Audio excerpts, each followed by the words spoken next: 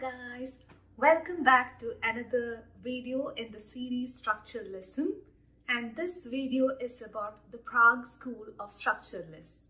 The most characteristic feature of the Prague School of Structuralist is that it combines functionalism and structuralism.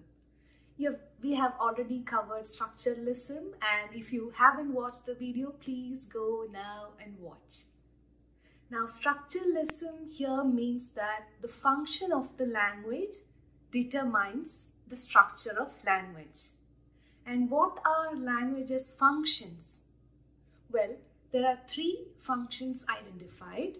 First one, cognitive function. Like the word suggests, cognitive. It conveys information or factual information.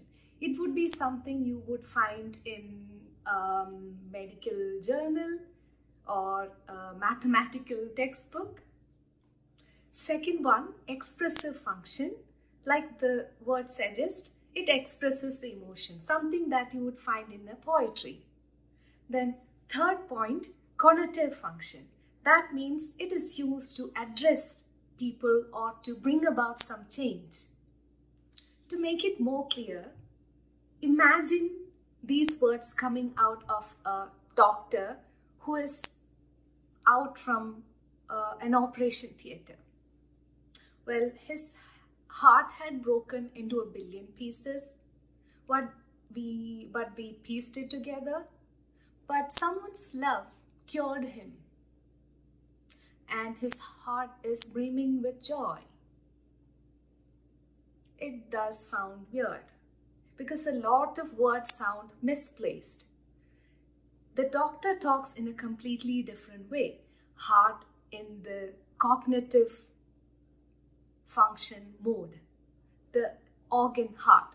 But when you use it in a poetry, you use it as an expressive uh, in an expressive mode.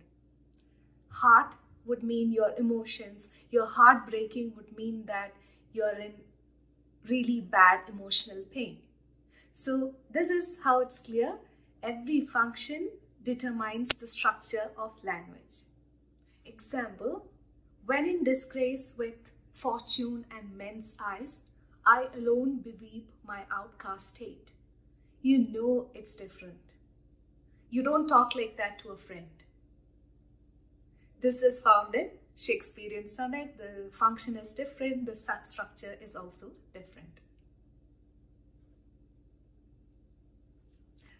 Thanks for watching. If you liked my video, do like and subscribe.